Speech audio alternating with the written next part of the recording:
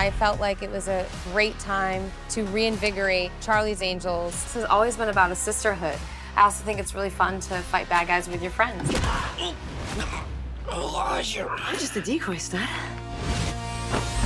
Liz, she sees me. She made me feel so able, like the exact reason she's making this movie. The way that we as women can only build each other up because we know each other through and through. Liz wanted these women to feel authentic because together we are better. I did this movie because Liz was part of the project. Elizabeth Banks is a powerhouse. She wrote, produced, directed, and starred in the movie, and that's never happened before in the Charlie's Angels franchise. My name is Bosley, and I'm gonna kick your ass.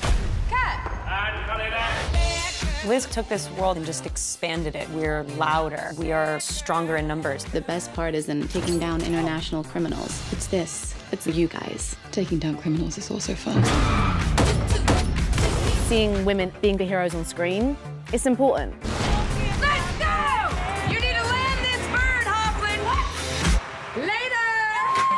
I wanted to make something that felt important to women and girls, the celebration of what women can accomplish when they work together.